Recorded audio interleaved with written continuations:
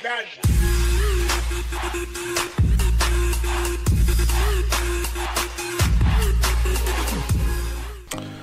guys, thanks for tuning in. Today we're going to attempt vinyl wrapping the hood on this 2018 Infiniti Q50. We're both amateurs at this, but we figured let's document it. Maybe it'll give you guys some inspiration or some idea of what's involved in doing this yourself. So the first step we're going to be doing is cleaning off the hood with dish soap to strip any wax or dirt. Okay, so um, the best way to clean off your car, you want to get off all the wax and grease um, so that the vinyl sticks the best.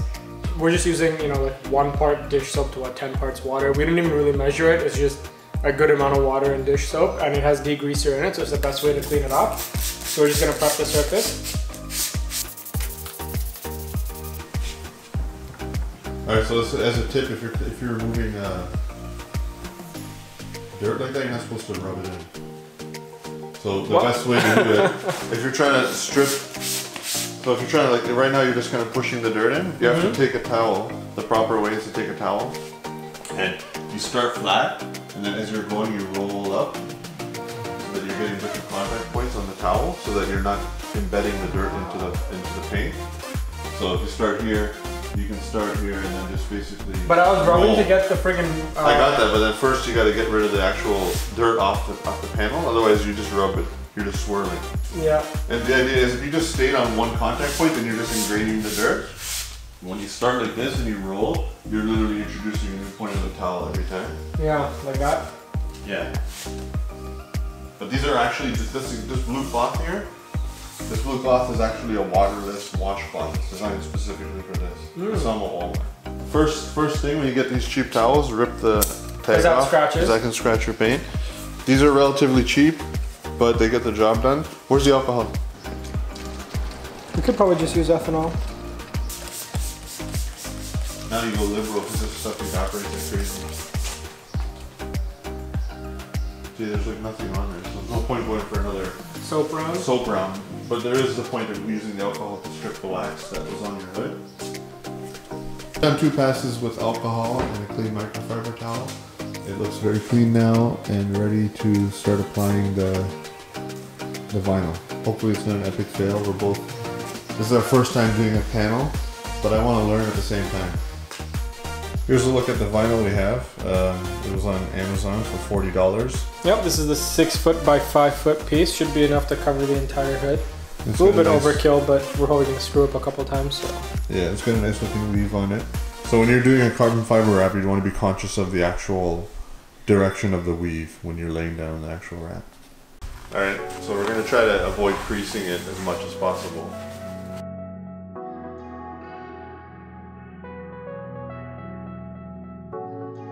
Okay, so we just laid a gasket underneath it so that the hood would stay slightly elevated to let the heat out and also to give us working room. So this is where we stand right now.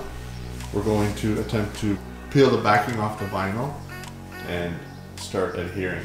Now, I've seen a couple of approaches. I've seen them go from the front peel, lay, and pull. Yep. Or side to side. So the one video I've seen today, the one video, okay. uh, was a Mustang which has a very similar concavity in the hood where it goes up with a couple ridges. Um, and he went side to side, and it was just one dude. He had no one helping so him. He anchored so, off the, the, one side and pulled. Yeah, and he pulled it, and he just went across slowly. Um, but the vinyl is very forgiving, and it was the same vivid vinyl, so hopefully uh, we can get so that. We want to get a good shot of that. Close this. Okay, so Here's our initial contact point. It, it, it was very easy to work with. It actually allowed you to just smooth it out right by finger, by hand.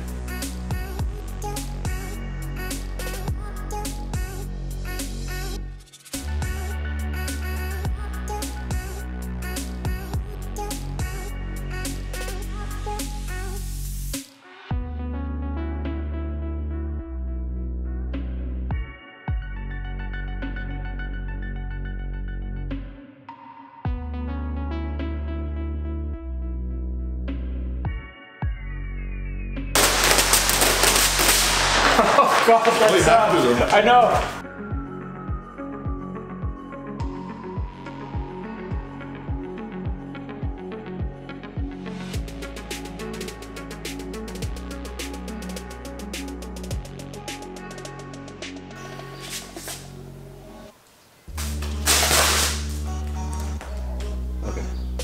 that's something to work with. Yeah.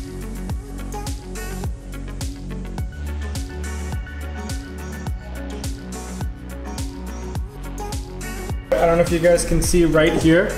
We're like almost at the end of the hood, but like we've almost deformed the vinyl from how, hard we've been trying to push out these little bubbles and creases. Um, we realized that it's actually a lot better if you leave some creases within because so basically this whole area that he's working on right now was filled with different veins of air. But that actually works because you keep pushing the little bubbles into bigger veins and it gives you an outlet to push out. And you see how this is up, so there's always somewhere for the air to escape. Um, so we got through a lot more than we did in the past like hour going little by little by just doing that. Um, so I think this is what we figured out for the majority of it. And we're gonna go back to that end piece at the end and try and um, try and get like, I don't know if you guys saw that right there, but there was like a pretty um, thin crease where it almost like uh, stuck up on itself and he managed to push it out just with his hands. What we're hoping for is that the, the few imperfections remaining will kind of disappear with the heat. So we figured out a neat trick. The vinyl's very forgiving, so you see how it's all dented up and stretched and um, mis- disformed, deformed. You can just heat it and it retains its shape. Check it out. This goes back to how it was. It's ridiculous. We've been doing this for every time that we've like screwed up from stretching something too many times, or like nearly denting it by like poking it to lift it up. It's amazingly forgiving. It's also super soothing to watch it. So it's taken a few hours to actually get to this point. It's quite tedious, but at the end of the day, I would say it's something that anybody can do. It just takes time and some patience. Probably didn't have all the tools we could have had in hand to make this go smooth, but uh, we just used some microfiber towels and we didn't have the little felt line squeegee.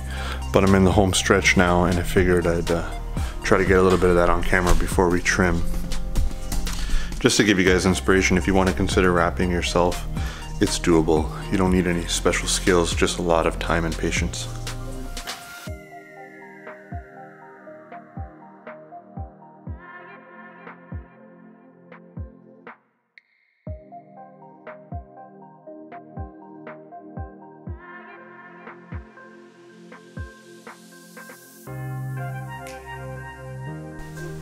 All right, so we're at the point now where we're gonna cut it. If you look really closely, if you catch it in the right light, you may find some little dots here and there. Right here. Yeah, it. it's kind of hard to catch on camera. We're hoping that, like, you know, considering we're novices and this is our first time, once you get it out in the sun and and whatnot, it'll it'll level itself out, and also maybe just throw a quick coat of wax on it. But from about two feet away, it looks really nice. If you're walking up to the car, you'll never even see it. So we're at the point now where we're gonna cut just a little bit below. We're gonna wrap around and then cut probably a good quarter of an inch so that we can actually wrap it around. And Then when it comes time to peel it off in the future, it will actually come off. But it took a good four hours. It's definitely not something that's easy, but if you have the time and the patience, you can do it. And it's not like it's taxing on the body or anything. Just when you're holding the, the film up for a long time, it can kind of wear you out. But it looks really cool. I like how the light hits it. So we're gonna get a get a blade and cut that up, and then we'll come back to conclude.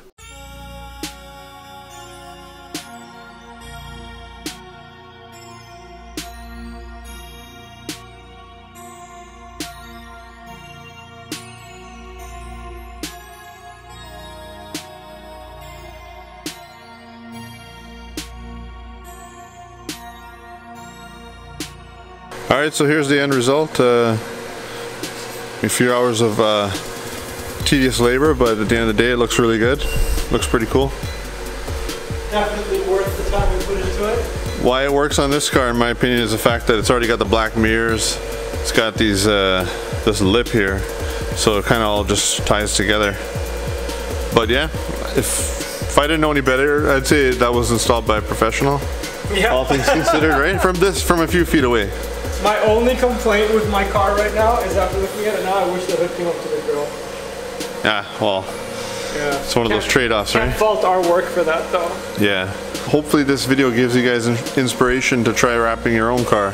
It's definitely doable, it just takes some time and patience. So thanks for watching and good luck.